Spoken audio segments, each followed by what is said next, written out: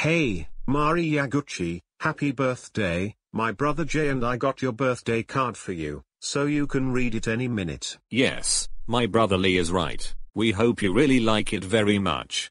Oh, okay. Happy birthday. Wishing you a beautiful day. Is that what I wanted? Oh, really? What thank you so much Jay and Lee. It's beautiful. Oh, really? It looks like something was very happily than I thought. Oh yes, me too. It's only a birthday card for Mari Yaguchi, who deserves to love anything for more. Um, Lee and Jay. I love you. We, We love love you too. too.